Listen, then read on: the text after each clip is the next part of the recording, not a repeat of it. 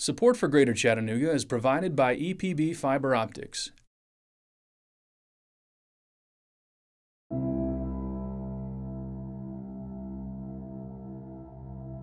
We had the award for having the very best patient outcomes of all centers throughout the world. So if you came to Erlanger and when you were enrolled in the study and got our, our treatment, you are more likely to do better than any other center in the entire world. And that's what we've been working on here at, at Erlanger for the last 20 years.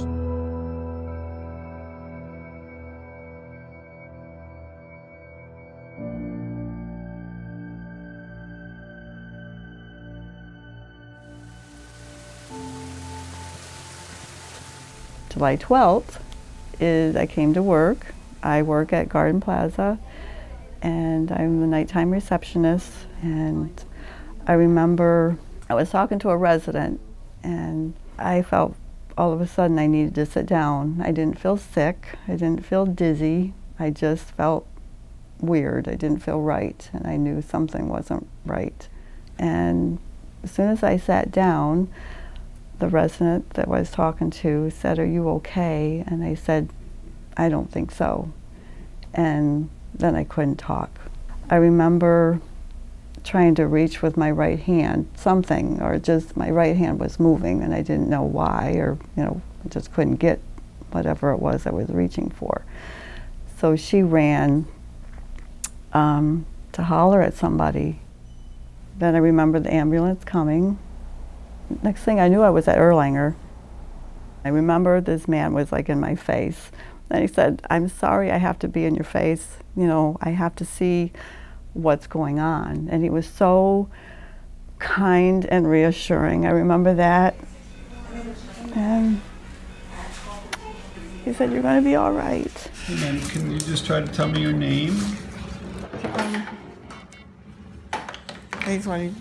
when you see someone, you know, people who are, they know that they're being affected by a stroke, but they can't do anything about it. They can't verbalize to you, hey, I can't move, I can't, you know, I can't do what I usually do.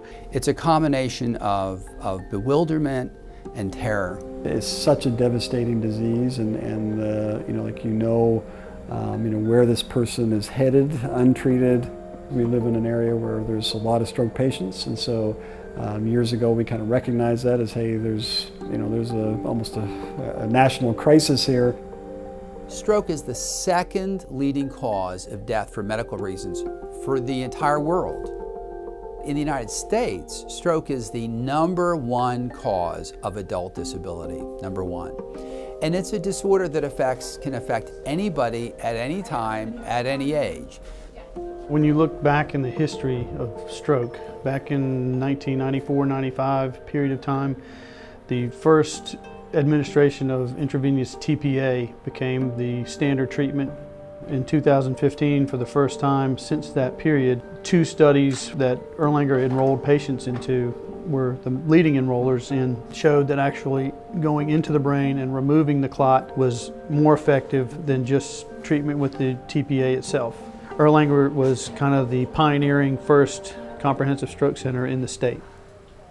When it comes to your brain, there is no medical condition that is more sensitive to time than having a stroke. If there's an interruption due to a blood clot that's blocking the blood flow, the brain's cells start dying immediately. As soon as that vessel is plugged, we're kind of on a 2 million neuron a minute uh, death rate. You know, so time is of the essence everywhere we can save hours, minutes, and seconds in treating a stroke patient is critically important. We're the only hospital that I know of that has a senior stroke neurologist that is ready in a moment's notice right around the emergency room, really 24 7. We have many, many satellite small hospitals around that know what to look for on the, in these symptoms, and we immediately have response we can have these patients flown in to the hospital and get treated as soon as possible. We're working on legislation that will direct those patients into the comprehensive stroke centers in the same, and everybody across the state will get treated the same way.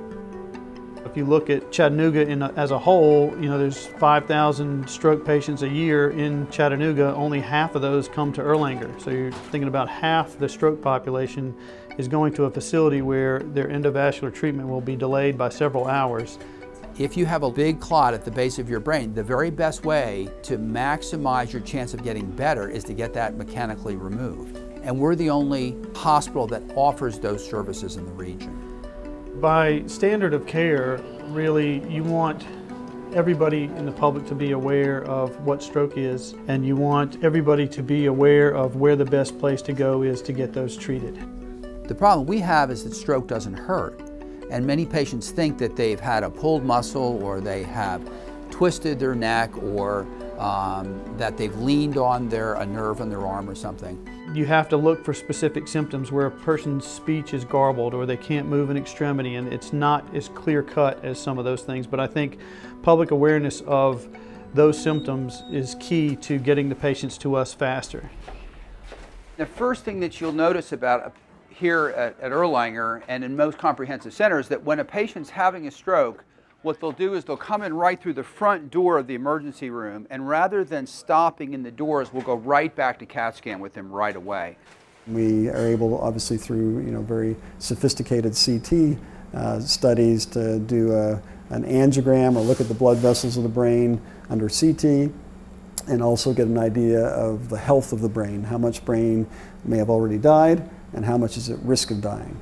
If you have a large clot at the base of the brain, the best way to have a good outcome in the patient is by not only giving them TPA, but also by going up through the artery in the leg and passing a catheter up into the brain directly within the blood vessel and mechanically grabbing the clot and pulling it out. The patient will go right from here directly up to the intervention suite where they'll begin the procedure.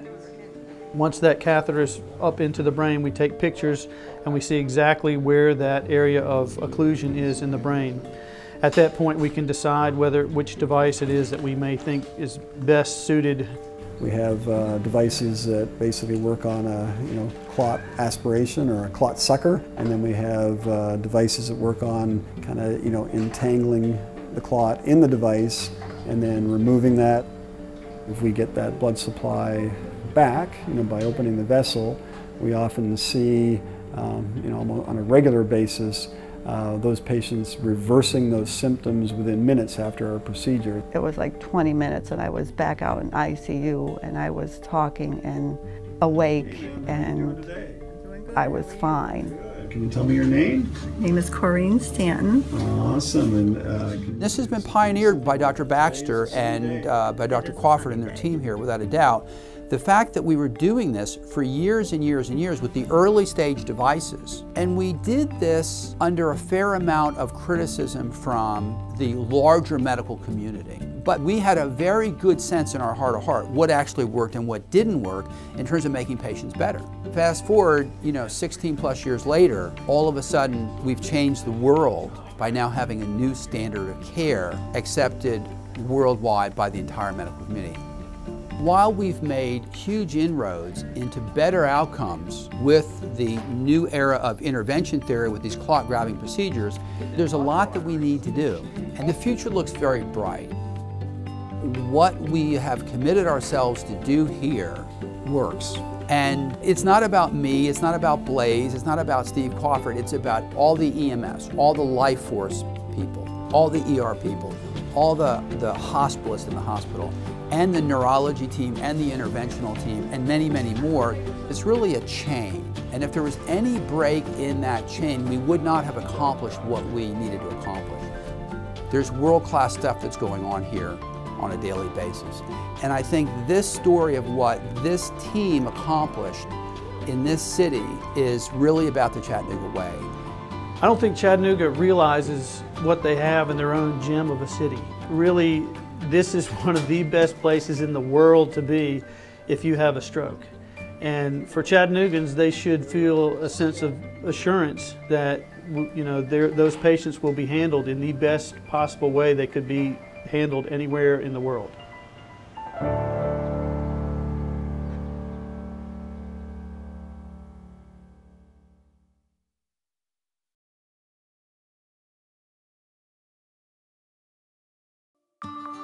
If you're a fan of Greater Chattanooga, support it. Becoming a sustaining member of WTCI is easy and affordable, and it makes a big difference. Visit greaterchattanooga.org/donate. Thanks.